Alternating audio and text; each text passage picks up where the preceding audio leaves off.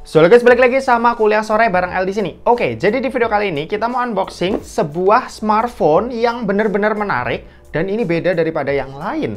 Yaudah langsung aja kita mau unboxing barangnya dan kita mau pindah ke kamera yang di atas. Let's go! Oke, jadi ini adalah boxnya si Itel P55 HP baru dari Itel yang harganya ini kalian tahu berapa ini? Harganya satu setengah juta buat harga rilisnya ya. Kalau harga normalnya sekitar uh, kalau nggak salah 1,7 juta dan dia tuh di paket pembeliannya ada dua box seperti ini dan box tambahannya itu bisa kalian lihat ini adalah free bundle. Ini charging case ya, jadi kayak sejenis power bank yang udah ke bawah di casingnya. Ini kapasitasnya 2400 mAh. Ini gokil sih. Jadi HP ini tuh bener-bener ngasih sesuatu yang beda dan ini bakalan kepake banget. HP ini sendiri kapasitas baterainya 5000 mAh, kalau ditambah charging case-nya itu jadi 7400 mAh kan ketambahan 2400 mAh ya. Jadi ya ini sesuatu yang baru dan menarik juga yang bakal kita bahas di video kali ini ya first impression dari HP ini buat boxnya sendiri ini kita pisahin dulu kali ya box charging case nya nih seperti ini dan ini adalah box HP-nya.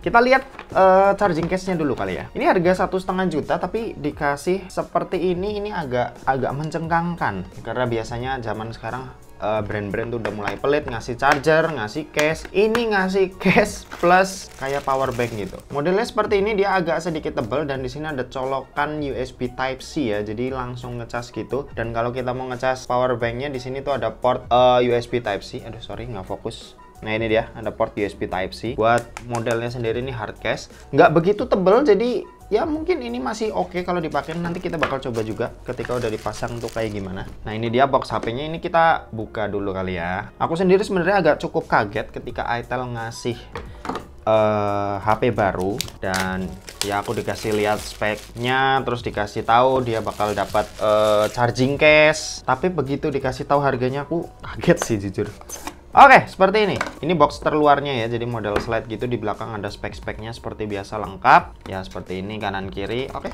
Nah, ini box dalamnya ada tulisan P55, ada logo Itel. Kalau di sebelah kiri ini ada tulisan Go Cyber, Go Power P65. Sama. Di belakang juga ada spek-speknya lengkap banget di sini ditulis sama si Itel.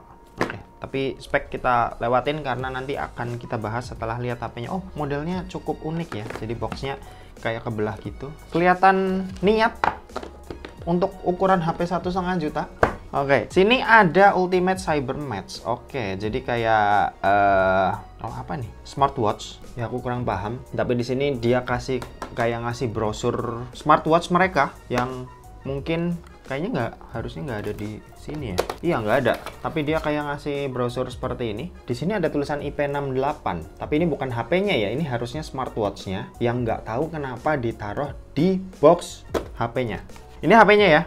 HP-nya kita taruh sini dulu. Kita lihat di bawahnya ini ada case lagi. Ini soft case clear. Nah seperti ini. Simple aja tapi yang menarik charging case-nya nih.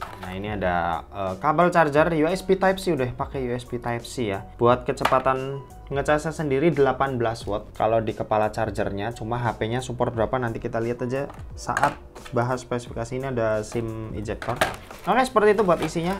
Ini kita pinggirin dulu kita langsung lihat HP-nya kayak gimana. Nah ini dia si Itel P65 ada tulisan cyber design lagi with slick right line ring light. Terus di sini ada tulisan Power Master. Langsung aja. Oh, desainnya mengingatkan sama desain HP Tecno yang kemarin baru kita unboxing, yaitu Tecno Pova 6 series. Cuma ini sedikit lebih cakep kalau menurutku ya dua kamera tapi sebenarnya ini harusnya cuma satu ya biasanya Itel seperti itu. Lalu di sini ada LED flash. Kalau yang ini nggak tahu ini kayaknya juga bisa nyala-nyala mungkin notifikasi atau gimana. Untuk desainnya lumayan keren bukan lumayan lagi sih. Untuk ukuran HP satu setengah juta ini keren banget. Dan bodinya tuh juga flat. Di sisi kanan ini ada tombol. Aduh apa lagi? Ini ada tombol agak unik. Lalu ini ada tombol volume. Ini tombol power yang merangkap sebagai fingerprint scanner. Mungkin ini kayak action button gitu ya. Jadi bisa dipakai buat macam-macam kayak punya iPhone gitu. Kalau kita lihat sebelah kiri ini ada SIM ejector. Eh SIM ejector. SIM tray. Nah langsung aja kita lihat dia tuh jenisnya apa nih? Oke, okay, triple slot ya. Jadi dia bisa nampung dua buah kartu nano SIM plus satu buah kartu uh, micro SD tambahan. Sementara itu kalau yang di bagian atas ini polosan aja nggak ada apa-apa. Sementara itu yang di bagian bawah ini ada lubang jack audio 3,5 mm, lubang mikrofon, lubang charging USB-C sama uh, grill speaker yang jenisnya harusnya mono speaker. Dan ya udah kita nyalain dulu. Oh, sebelum itu kita pasang ini dulu. Ini aku agak penasaran. Ini gimana cara pasangnya? Gini kah? Harusnya dari bawah ya. Oke seperti ini kalau udah dipasang dia emang sedikit lebih tebel cuma bukan yang mengganggu ketika dipakai. Masih oke okay hitungannya jadi dia tuh lebih tipis daripada uh, power bank MagSafe yang biasa. Itu pun udah termasuk tipis tapi ini lebih tipis lagi. Dan dia menyatu sama case nya Oke, okay, lumayan oke. Okay. Untuk ukuran HP satu setengah juta ini gimmick yang cukup niat. Ini kita bakal nyalain terlebih dahulu dan kita bakal setting-setting HP-nya. Juga buat nanti kita lihat isi dalamannya kayak gimana. Oke, okay, jadi ini adalah tampilan dari itel P65. Desainnya uh, seperti ini, desain wallpapernya. Dan buat kameranya sendiri dia udah pakai pansol ya. Jadi udah cukup kekinian Cuma kalau buat ukuran uh, bezel ya dia masih sedikit lebih tebal dan bawahnya juga lumayan tebal. Tapi ya ingat ini HP harga satu setengah juta jadi kita nggak bisa komplain banyak. Yang jelas yang uh, eh, HP ini kasih pun sebenarnya di lain itu udah cukup memuaskan ya. Contohnya dia juga udah punya fingerprint yang posisinya ini di sebelah kanan. Biasanya HP harga segini tuh eh, nggak uh, ngasih fitur fingerprint ya tapi HP ini udah ada dan kecepatan bacanya pun ini kencang banget buat ukuran HP di kelasnya. Oke, kita bakal bahas uh, spesifikasinya. Kalian bisa simak tabel yang ada di sebelah kanan ya, kayak biasa. Jadi buat chipset, smartphone yang satu ini itu dibekali dengan chipset UniSoC T615. Ini adalah chipset kelas entry level dari UniSoC ya uh, chipset budget, chipset harga uh, sejutaan yang biasanya ya juga dipakai sama HP-HP sejutaan. Dan ya untuk uh, apa ya kecepatannya atau misal buat performanya nanti kita bakal coba juga mainin game PUBG Mobile uh, kayak gimana HP ini apakah cukup enak atau enggak. Terus selain itu dia punya storage atau kapasitas RAM ini ada di 8 GB dan internalnya ini ada di 128 GB. Kalau buat baterai dia kapasitasnya ada di 5000 mAh ya dengan speed ngecas yang ada di 18 watt. Dia juga dikasih uh, charging case yang kapasitasnya 2400 mAh jadi misal kalian bisa pakai buat sehari-hari juga yang berarti kapasitas baterainya ini bisa dijumlahin yaitu 5000 plus 2400 mAh atau 7400 mAh. Oke lanjut kalau misal buat sistem operasi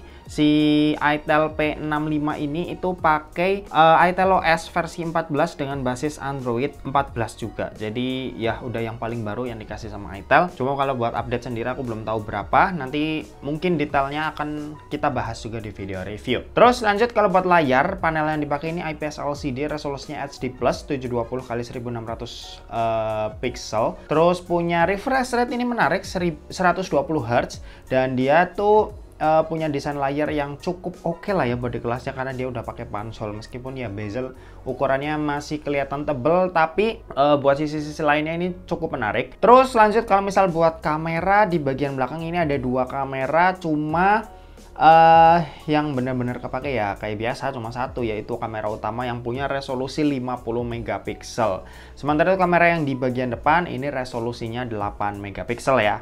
Oke, kalau buat menu-menu kamera sendiri, ini di bagian paling kiri ada dual video, lalu ada mode video, AI cam, beauty, portrait, dan ada pilihan more. Ini pilihannya ada, ya ini bisa kalian lihat sendiri. Dan kalau buat perekaman video sendiri, biasanya sih HP-HP dari Transsion itu 2K 30 ya. Cuma ini, oh enggak, ini Full HD 30 aja ya, karena lagi-lagi ini HP entry level budget yang harganya itu ada di bawah 2 juta atau satu setengah jutaan.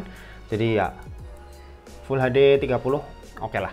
Dan kalau buat fitur-fitur sendiri smartphone ini itu ada uh, yang di belakang ya. Ini namanya apa ya? Bentar. Oh, yang di belakang ini namanya backlight effect. Jadi tuh kalian bisa uh, pakai ini buat sebagai notifikasi kalau misal ada uh, notifikasi di HP kalian, terus ada pemberitahuan kalau misal baterai habis, terus buat ngecas juga bisa atau saat mulai main game ini juga bisa kalian atur.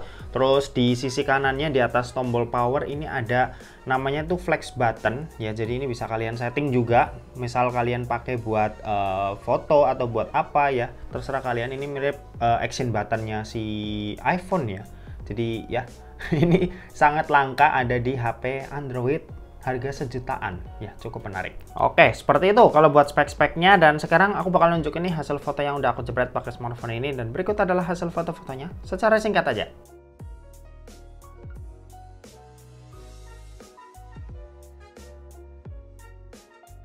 Nah, tadi kalian udah lihat buat hasil foto-fotonya secara singkat, kita bakal lanjut ngetes performanya pakai game PUBG Mobile. Langsung aja kita mainin. Oke, kita udah masuk ke dalam game. Kalau buat settingan sendiri, ini kita lihat aja langsung. Dia bawaan ada di HD High ya.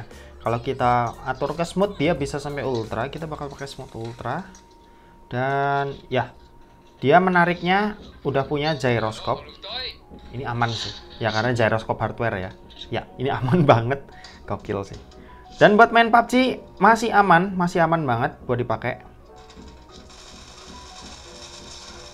Waduh, ya ini udah lumayan enak sih buat ukuran HP satu setengah juta dia. Mainin PUBG Mobile ini udah cukup lancar dan cukup nyaman buat dipakai. Ditambah gyronya juga udah aktif gyro hardware.